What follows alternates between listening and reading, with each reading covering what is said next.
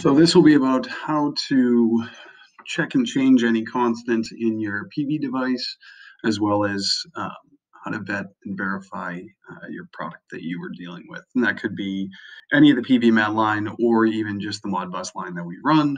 Um, so first thing we want to do is actually go to rainwise.com and then we want to go to the support section, go to manuals and downloads. And we're going to go to solar monitoring.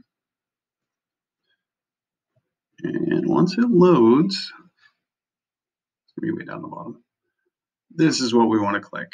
So this is going to basically give the program that we have um, in use so that you can verify um, with a limited number of variables in there. So as an example, that's already going to have your holding registers. That's already going to have your address appropriate, the baud rate appropriate. And this is pretty standard for most of our PV and uh, Modbus line, just as a heads up. So after we go ahead and download that, then install it, uh, you will then see something like this. So this is what we're going to open up. And so first thing we want to do and this is assuming we're using a 485 to USB converter and we already have the drivers installed. Uh, we are going to go to Device Manager, which I'm just typing in my search bar on my other screen. Sorry, you can't see it. Let me bring it over. So next thing I'm going to do is go ahead and look at ports, common LPT. I want to make sure that my 485 to USB converter, what, what COM port it's basically on. So now I'm going to go to connection, settings. And as you can see, I've already set it to COM port 59. All these other settings should be appropriate. You shouldn't need to change any of them whatsoever. So I'm just going to hit OK because I've verified my settings. And then I'm going to close this guy out and I'm going to connect it. Scratch that. I'm not going to connect it yet. I'm going to go to File, open up the appropriate file for what I'm looking at. So I'm looking at a Modbus Mark III, which is this one right here. So I'm going to open that guy up and then I am going to connect. And as you can see, values populate reasonably quickly. Do not change any of these, please, um, for two reasons. One, it will stay as those uh, settings that you have changed them to. Um, and then two, if somebody else uses it after you, obviously they're they might not know. Um, so this is how many polls and how many returned good responses we have got. You will see errors on occasion, few and far between. If you have not connected appropriately, or maybe if you haven't download the appropriate driver for your uh, 485 to USB converter, you will see Modbus message timeout here. Okay. If you see strictly an RX light only on your PVMET device, I would suggest swapping your comms lines. So AB and B to A. Um, usually that means that it is being queried. It just can't identify where it's uh, supposed to be ending up. So anyways, just quick verification on this for myself. Just double checking wind direction and wind speed. Okay. Temp should stay the same. And uh, we just want to get a little bit on solar radiation to make sure that that's appropriately reporting.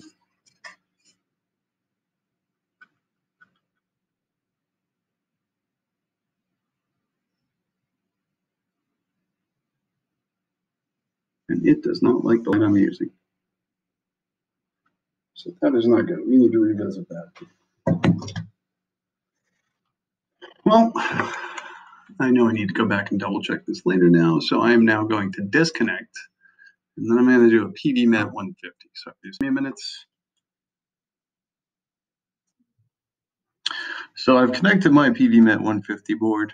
Um, now, here's something that people will do. So I just want to go over it real quick. Um, let's say we want to look up the holding registers.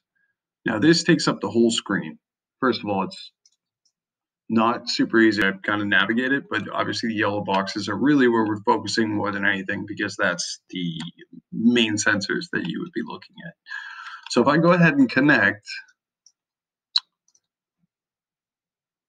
you won't always see this, but I'm getting this for two reasons. One, because I intentionally have my TX and my RX backwards, um, just to show you that actual message. And then the other thing is going to be the fact that I have this program still open. So even if it was reading, it might not populate on this screen if I still had the other file open. So just so we know.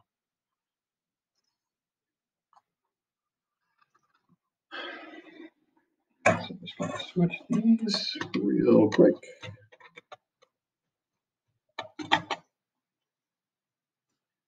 And then you're going to see that timeout go away. Hey, look at that values. So this is applicable in a couple scenarios because if I now go to look at my values, these are absolute values that are popping up. Um, these will float sometimes, but this is just because I have no connection to these sensors. So it's just good information to have. Um, so let's say I wanted to change the sensitivity or the Modbus address. See how that's, oh, it actually is popping up. It doesn't always pop up. So I would recommend always closing out the previous window.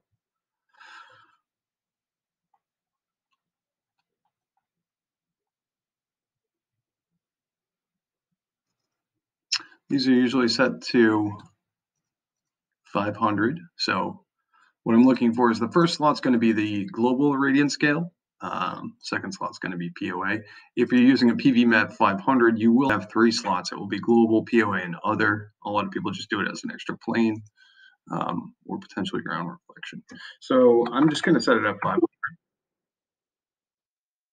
It updates. It's going to say timeout. It's going to make me a liar.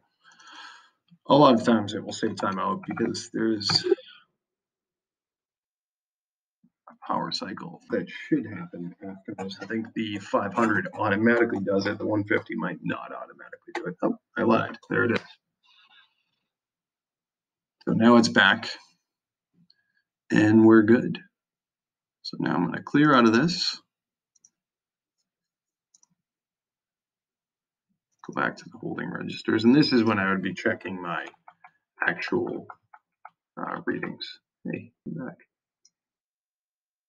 So obviously, like I said, these aren't going to be correct because I don't have a sensor attached. But this is the general process that you would go through to either vet or just um, rectify any readings or sensitivity issues.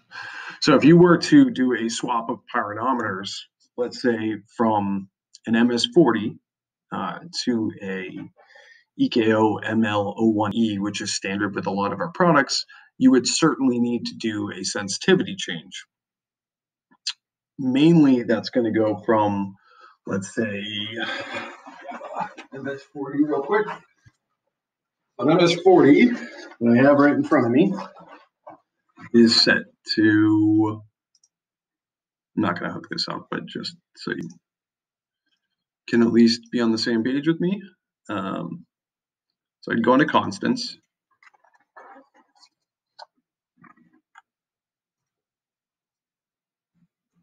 Okay. I would look at the actual MS40 and it's going to say sensitivity of 12.86. So at this point, all I'm literally doing is moving the decimal over two places, two values. So 1286 is going to be my new sensitivity for this MS40. The EKO ML01Es have a sensitivity around 200. So again, we're changing the second one, or even changing this one back to uh, an EKO ML01E, I would need to switch the sensitivity. But for this situation, I'm just going to do it on the second one. So at that point, I would move it two decimal places. So it's 201.0. So I'm going to do 201.00. And that's what the sensitivity should be for that. So that would be how you would change and uh, adjust your sensitivity, mainly uh, for verification purposes. All right.